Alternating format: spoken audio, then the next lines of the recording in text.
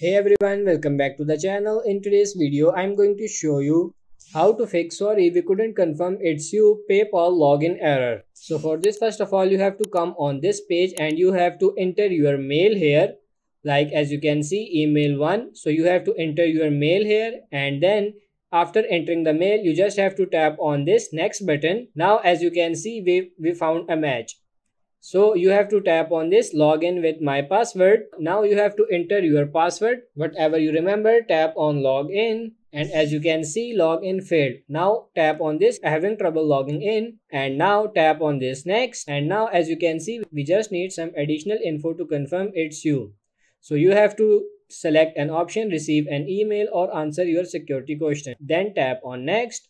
Now it will send a code on your mail. You just have to copy the code and simply paste it here. After pasting tap on continue. Now as you can see you can create a new password. After creating the new password confirm the password and tap on this save and now you are good to go. So that's pretty much it for this video. I hope this video was helpful. If it is like it and subscribe to the channel. Thank you.